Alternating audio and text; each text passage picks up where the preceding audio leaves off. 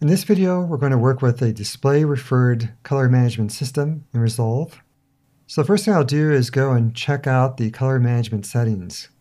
You can go up to File, Project Settings, or use this gear icon down here at the bottom right as a shortcut. I'll click that. I'll go to the color management section. You'll see up here the color science menu is set to DaVinci YRGB, and that's a display referred system you get by default. You'll see the timeline color space is set to Rec 709 Gamma 2.4, and that's the default color space of the timeline. Now that affects the way the color controls work in the color tab in terms of how they are mapped or how they are arranged. It doesn't actually affect the look of the various views. Now if you do intend to output to a different color space, you can change this menu. However, Rec 709 Gamma 2.4 is common for working with HDTV. Let's see what this looks like in 17. I'm in 17, which has fewer menus. So there's fewer ghosted menus and fewer menus overall in this section. We saw the most critical ones, color science and timeline color space. You may have to change the timeline menu to get the color space you want. So here I've switched it back to Rec 709 Gamma 2.4. Let's return to the older version. I want to make sure it's set to DaVinci YRGB, Rec 709 Gamma 2.4. This is already set, so here I can cancel. Let's go ahead and bring in a clip. Right mouse button click down here in the Media tab. Go to Import Media. And once again, there are a few shots included for you within the footage folder that's within the Project Files folder. Let's start with the Alexa LF camera shot. And that's stored in the ProRes format. I'll open that. And see it's washed out. That's a good indicator that's actually in logarithmic color space. Many high-end cameras use that space. Logarithmic is nonlinear, so the exposure curve is not on the straight line.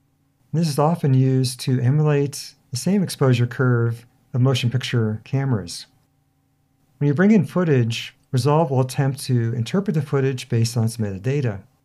If you have a clip selected, like I do here, you'll see information about that clip over in Clip Details. Now, if you are using display referred and you are using logarithmic footage, it's generally necessary to apply a lookup table or a LUT at some step in the process. In other words, you can't really output this, for example, if you need to go to broadcast video. There are different places you can apply LUTs inside Resolve, and each option has advantages and disadvantages. Let's try the first. And the first is to apply a LUT right to the clip in the Media tab. You can right mouse button click over the clip, and you'll see a list of LUTs and these come with the program. In general, you apply a LUT that matches the camera that captured the footage, and there are many camera LUTs you can choose from. With older versions of Resolve, the LUTs are divided between multiple menus 1D, 2D, 3D, DCTLs. With Resolve 17, they've collapsed that down to a single LUT menu. Let's take a look. Here's 17, right click, there's a single LUT menu. So all the LUTs, no matter how many dimensions, and whether or not they're DCTLs will appear in this menu. You can add your own LUTs to this menu, and we'll discuss that later.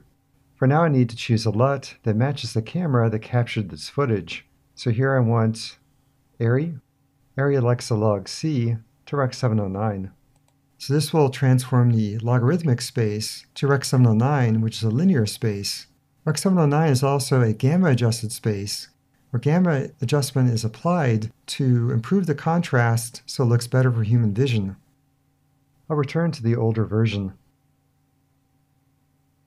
So indeed the contrast changes to what you might expect for something going to broadcast video. So now a transform has occurred in the Media tab. I'll right mouse button click over the clip and go to Create New Timeline and use the default settings. Now if we skip over to the other tabs, you'll see the same result I get the result of the applied LUT. In fact, this even carries into Fusion because Fusion grabs a clip right from the Media tab.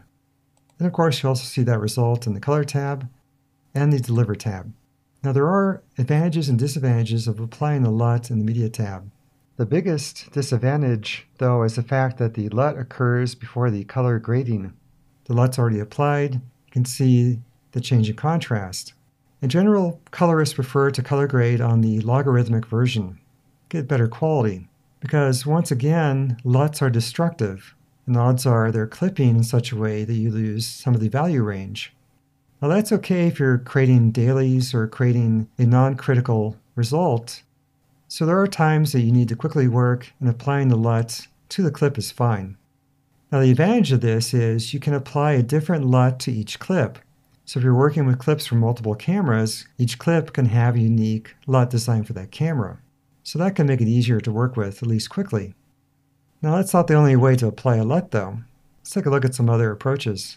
Go back to the clip, right mouse button click, and set it back to no LUT.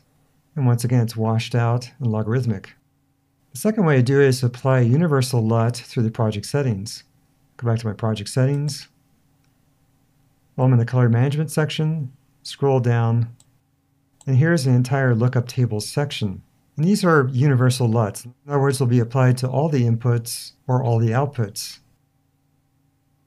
Once again, Resolve 17 has simplified the menus in this area. So there's a single menu for input lookup table that contains all the possible LUTs.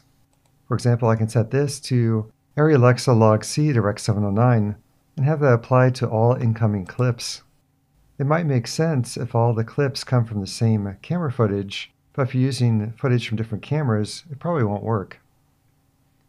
I'll return this back to no LUT selected.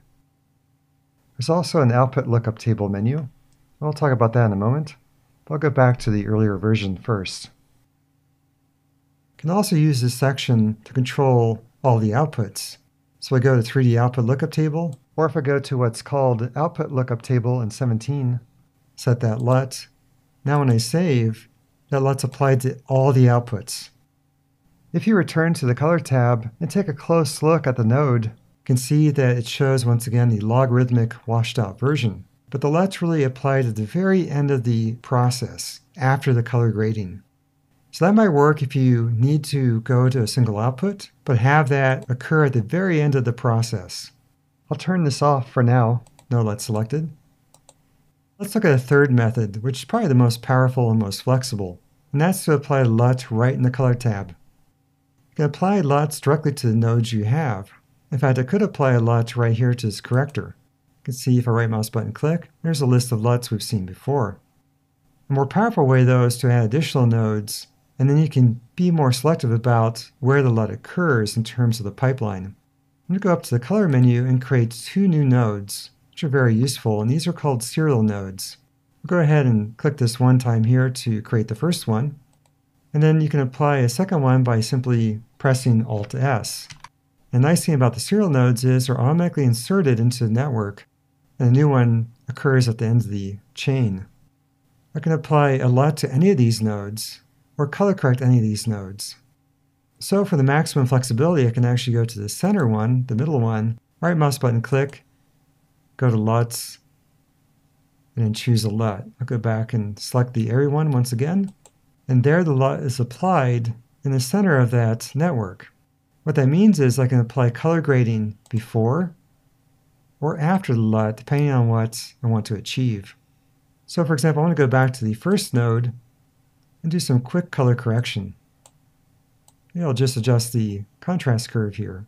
What that means is the color grading is occurring before the LUT.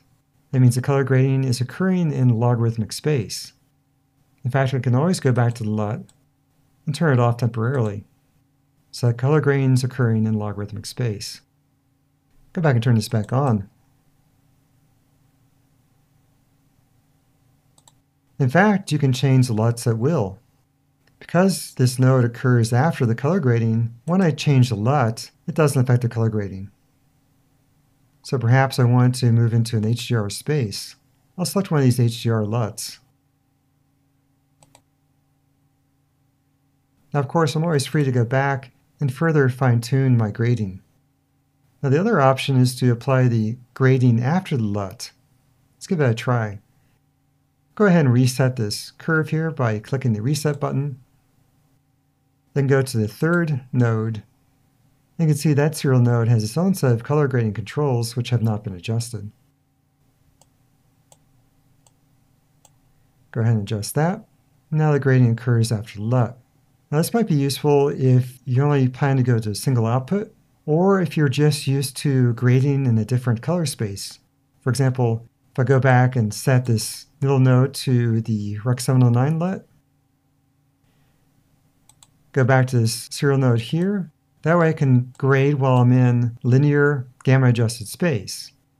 Now keep in mind that each clip has its own network and therefore can have its own LUT and its own color grading. Take that even further though by creating multiple versions for each clip.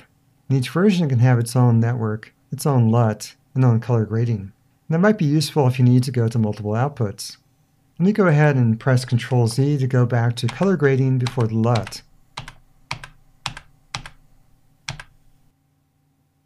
But now I can go and create multiple versions.